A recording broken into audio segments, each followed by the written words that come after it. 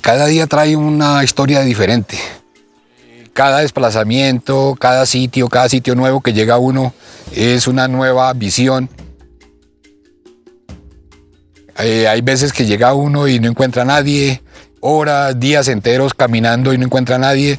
Entonces eso, si usted no lo quiere, no. Entonces eso es parte de la vida que tiene uno.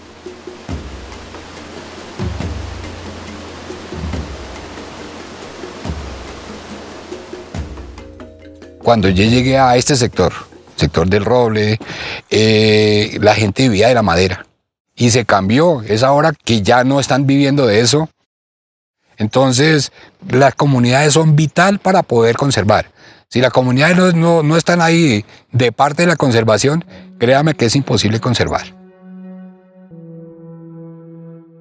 Si no se hace una confianza con las comunidades, primero nosotros no podíamos como funcionarios estar en las zonas. ¿Y cómo se quiere esa confianza? A través del el conocimiento, de ir allá al predio, hablar con las comunidades, saber la problemática. Entonces eh, eh, se ejerce una confianza entre el campesino y el funcionario que a la vez que resulta la conservación del área.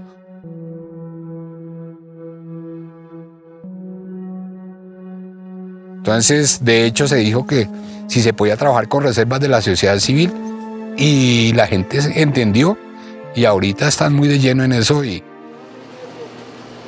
hay cantidad de animales que encuentra uno en el bosque y eso lo alegra a uno, pero es como en el momento. Pero esto de que la gente cambie y comience a conservar eso para uno que está trabajando en esto es, muy interesante.